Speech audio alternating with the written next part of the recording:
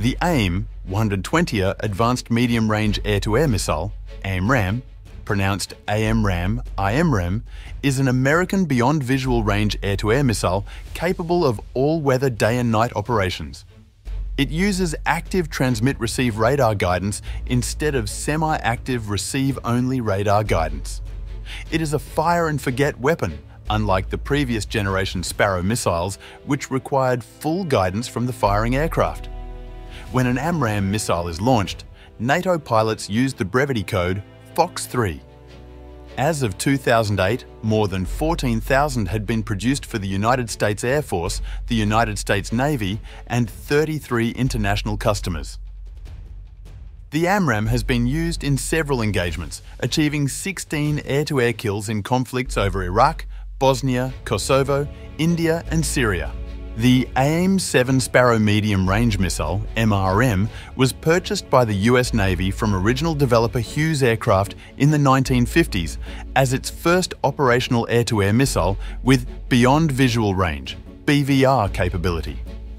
With an effective range of about 12 miles, 19 kilometres, it was introduced as a radar beam riding missile, and then it was improved to a semi-active radar guided missile, which would home in on reflections from a target illuminated by the radar of the launching aircraft. It was effective at visual to beyond visual range.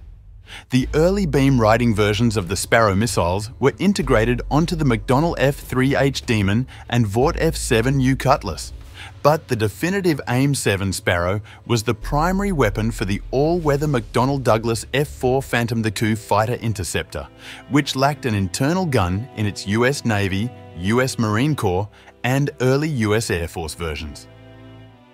The F-4 carried up to four AIM-7S in built-in recesses under its belly. Designed for use against non-maneuvering targets such as bombers, the missiles initially performed poorly against fighters over North Vietnam and were progressively improved until they proved highly effective in dogfights.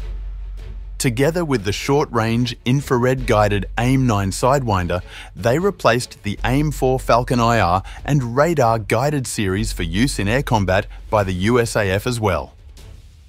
A disadvantage to semi-active homing was that only one target could be illuminated by the launching fighter plane at a time.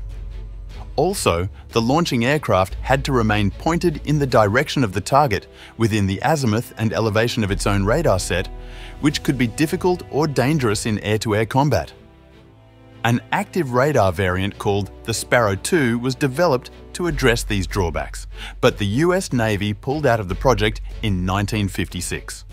The Royal Canadian Air Force, which took over development in the hopes of using the missile to arm their prospective Avro Canada CF 105 Arrow interceptor, soon followed in 1958 the electronics of the time simply could not be miniaturized enough to make Sparrow 2 a viable working weapon. It would take decades and a new generation of digital electronics to produce an effective active radar air-to-air -air missile as compact as the Sparrow.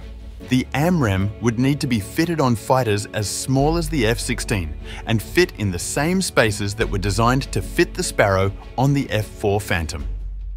The European partners needed AMRAAM to be integrated on aircraft as small as the BAC Harrier. The US Navy needed the AMRAAM to be carried on the FA-18 Hornet and wanted capability for two to be carried on a launcher that normally carried one Sparrow to allow for more air-to-ground weapons. Finally, the AMRAAM became one of the primary air-to-air -air weapons of the new Lockheed Martin F-22 Raptor fighter, which needed to place all of its weapons into internal weapons bays in order to help achieve an extremely low radar cross-section. AMRAAM was developed as the result of an agreement, the Family of Weapons MOA, no longer in effect by 1990, among the United States and several other NATO nations to develop air-to-air -air missiles and to share production technology. Under this agreement, the US was to develop the next generation medium range missile, AMRAAM, and Europe would develop the next generation short range missile, ASRAAM. Although Europe initially adopted the AMRAAM, an effort to develop the MBDA Meteor, a competitor to AMRAAM, was begun in UK. Eventually, the ASRAAM was developed solely by the British, but using another source for its infrared seeker.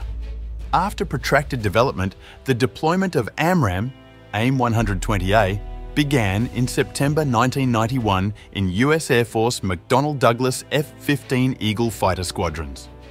The US Navy soon followed, in 1993, in its McDonnell Douglas FA-18 Hornet squadrons.